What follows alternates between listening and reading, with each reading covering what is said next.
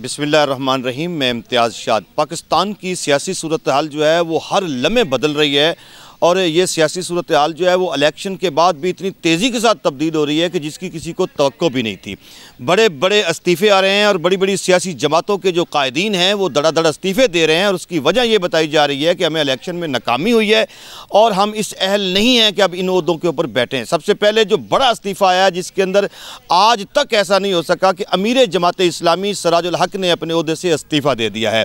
और इसके साथ साथ जहांगीर खान तरीन ने भी अपने अहदे से इस्तीफ़ा दे दिया है और ये दोनों कायदीन जो हैं, इन्होंने बड़े दिल का मुजाहरा करते हुए वाज तौर पर आवाम को ये पैगाम दिया है कि हम अपनी अपनी सतह पर इलेक्शन हार गए हैं और अपनी जमातों को जो है वो कामयाब करवाने में नाकाम रहे हैं। लिहाजा हम इस अहदे के अहल नहीं हैं और वो मुस्ताफ़ी हो चुके हैं। लेकिन इसके साथ साथ बड़ी खबर जो है वो ये है कि अमीर जमात इस्लामी कराची जो है, हाफिज़ नईमान उन्होंने तारीख रकम कर दी है। एक ऐसी नशिस्त जिसके ऊपर जो है वो उनके मुखालिफ कैंडिडेट जो है वो जीत चुके थे। एम पी ए की जो सीट थी लेकिन उन्हें वो सीट तोहफे में देने की कोशिश की गई। उन्होंने मीडिया के सामने आकर पूरे निज़ाम को ही नंगा करके रख दिया और उन्होंने वाज तौर पर बताया कि ये खैरात में मिली हुई सीट मुझे नहीं चाहिए, जो हकीकत में मैं सीट जीत चुका हूँ एम एन ए की, वो सीट हमें वापस की जाए।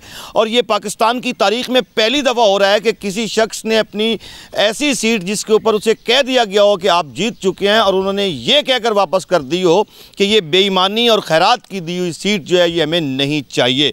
पाकिस्तान के अंदर पहली दफ़ा 2024 के इलेक्शन में बहुत सारी ऐसी रवायात कायम हुई हैं, जिसमें हारने वाले कैंडिडेट्स जो हैं, उन्होंने वाज तौर पर मुखालफी को पैगाम देते हुए अपनी हार को तस्लीम किया है और उन्हें जीत की मुबारकबाद पेश की है। जिसकी ज़िंदा मिसाल जो है, वो हमारे पास ख्वाजा साद रफ़ीक लाहौर के अंदर वो इलेक्शन हारे और उन्होंने अपने मुखालफी को मुबारकबाद पेश की और इलेक्शन से विड्रा हो गए। उन्होंने कहा कि मैं सीट अपनी हार चुका हूँ। पाकिस्तान के अंदर इस तरह की रवायात तो कायम हो रही हैं, लेकिन इन रवायात की वजह से पाकिस्तान का जो निज़ाम है, वो भी नंगा हो रहा है।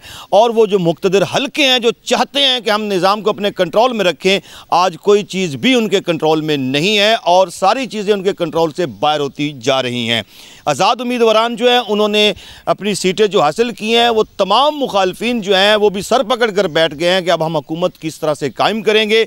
ये वही खिचड़ी बनने जा रही है पी डी एम प्लस जो है, वो तैयार हो चुकी है और वो आपस में बंदर बांट कर चुके हैं। हालाँकि अखलाकी तौर पर तो ये होना चाहिए था कि फिर शबाज शरीफ साहब जो हैं, वो अपनी पार्टी की सदारत से मुस्ताफ़ी होते और उधर से जरदारी साहब जो हैं, वो भी मुस्ताफ़ी हो जाते। क्योंकि उनके पास भी वो मुतव रिज़ल्ट नहीं आए जो आने चाहिए थे, जिसके वो दावे कर रहे थे। ख़ास तौर पर मुस्लिम लीग नून का दावा था कि हम टू थर्ड मेजोरिटी ले गए और वो हासिल नहीं हुई तो फिर उन्हें मुस्ताफ़ी होना चाहिए था। लेकिन मुस्ताफ़ी होने की बजाय उन्होंने फिर वही रवायती जोड़ तोड़ शुरू करके अपनी हुकूमत कायम करने की कोशिश कर रहे हैं।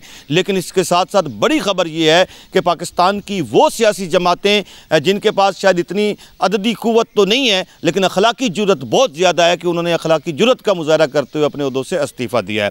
आने वाला वक्त किस किस को मुस्ताफ़ी करवाएगा और कौन से लोग किस अहदे पर पहुँचेंगे, इसके बारे में वक्त ही बेहतर तय कर सकता है। अपना अपने गिरदोनवा का ख्याल रखिएगा। इम्तियाज़ शाद को इजाज़त दें। पाकिस्तान पाइंदाबाद।